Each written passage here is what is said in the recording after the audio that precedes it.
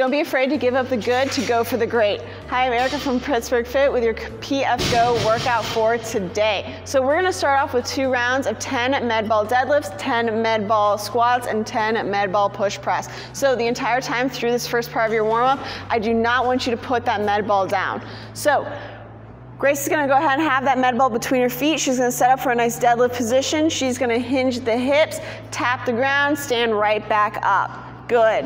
Just like that. She's gonna do 10 of those. Then she's gonna bring it to the goblet position for 10 squats. She's gonna push her hips back, sit down to that squat position, just like so. She's gonna keep that med ball in front of her chest the entire time. After that, she's gonna get a little dip and drive for 10 med ball push press. So dip and drive, use your legs to, to throw that med ball overhead. You're gonna go through that one more time. The first time through, kind of nice and easy. I don't want you to set the med ball down.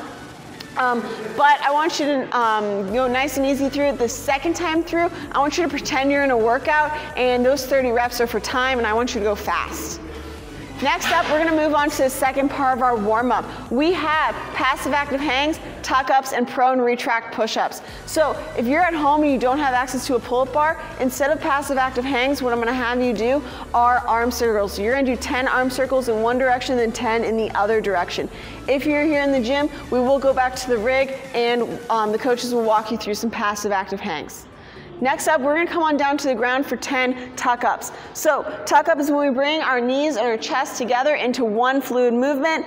Good, just like that. What we don't wanna have is a broken up rep where your chest comes up, then your knees come up, or your knees come up, then your chest comes up. One fluid movement the entire time. After that, you're gonna roll over onto a plank position for 10 prone retract push-ups. Now for these push-ups, what we're looking for here is that your arms stay straight the whole time. They are locked out. But your shoulder blades up here are what are moving. You squeeze them together and then you push them apart. Squeeze them together, pull them apart. That's what we're looking to do for our prone retract push-ups. You're gonna go through that one more time before we move on to our strength for today. Our strength for today, we have back squats. So a few weeks ago, we did some, we did a five rep max back squat. We are gonna use that five rep max back squat to, for our percentages today. So we have one set of five at 70%, one set of five at 75%, three sets of five at 80%. And if you are going to be using dumbbells or a kettlebell today, I'm gonna have you double the reps here. So instead of sets of five, you're gonna do sets of 10. Now, back squats, what we're looking for here is that bar is gonna be sitting across the back of your shoulders here. Um, our stance should be regular squat stance. We push our hips back and then we press our knees out to make sure we get all the way below our hips. Our, we want our hips all the way below our knee crease there. Good. Now, something I want you to play around with today are actually two things. I want you to actively think about pulling that bar into your body that helps create tension through your core, but I also want you to focus on your breath. As you go through these reps, I want you to grab your breath at the top, hold it for the entire squat, and then grab a new breath when you get back up. I want you to think that you're going underwater and you have to hold on to that breath the entire time. That'll help create tension throughout your entire lift. So, after you finish up your squats, we're gonna go ahead and move on to our workout for today. We have a 12 minute AMRAP, so as many reps as possible in 12 minutes. My goal for you is to stay moving for all 12 minutes. Now, our rep scheme today is gonna be four, six, eight, 10, so on and so forth. You're gonna move up by two reps every single round for each movement. So we have wall balls, hand release push-ups, and toes to bar. You're gonna go four, four, four, six, six, six, eight, eight, eight, 10, 10, 10, 12, 12, 12, so on and so forth for the entire 12 minutes.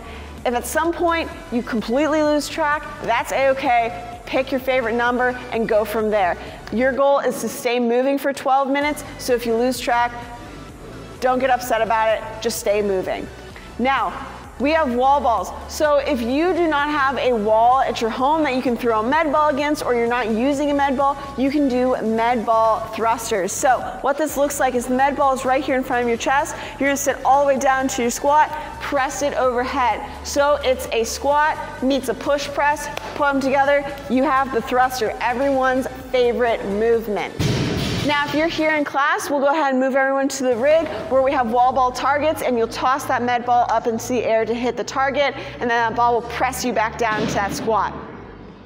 As soon as you finish up your wall balls, you're gonna go right into hand release push-ups. So a hand release push-up, we set up just like a normal push-up, but when we come down to the ground, we lift our hands off the ground so there should be some daylight there, and then we press ourselves back up. Now, what I want you to make sure about is when you do this is a lot of times, can you show me a, sloppy one where you snake off the ground? Someone's push-ups will look like this. I want you to fight that urge. I want you to try and think about squeezing your belly, keeping your body as one, and not snaking yourself off the ground by peeling yourself off the ground.